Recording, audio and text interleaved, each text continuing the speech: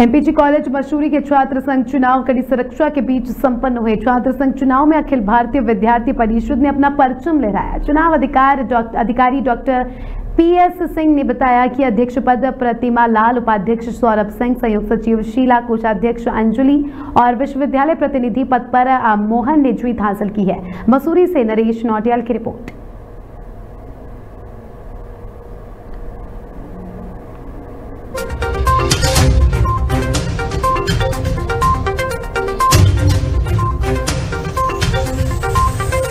आज अखिल भारतीय विद्यार्थी परिषद द्वारा मुझे एक परसेंट जीत जिताकर मैं आप सभी का सभी भाई बहनों का मैं धन्यवाद करना चाहता हूँ। अखिल भारतीय विद्यार्थी परिषद द्वारा बहुत ही संघर्ष के साथ मेहनत की और आज पूरे पैनल के साथ कॉलेज में आई है। मैं सबसे पहले समस्त अखिल भारतीय विद्यार्थी परिषद कार्यकर्ता और कॉलेज के समस्त कार्यकर्ताओं और हर छात्र छात्रों का मैं आभार व्यक्त करता हूँ जिन्होंने मुझे इस लायक समझा और इस कॉलेज का अध्यक्ष पद का बनाया।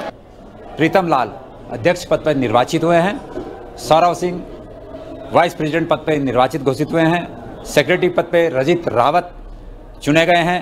ज्वाइंट सेक्रेटरी कुमारी शिला बनी है ज्वाइंट सेक्रेटरी। ट्रेजरर पद में अंजलि पद जीती हैं। यूनिवर्सिटी रिप्रेजेंटेटिव में मोहन चुने गए हैं और हमारे पास में तीन एग्जीक्यूटिव मेंबर भी निर्विरोध चुने गए हैं, जिनमें से पहली है कविता, दूसरी है कुमारी मुस्कान और तीसरी है संगीता।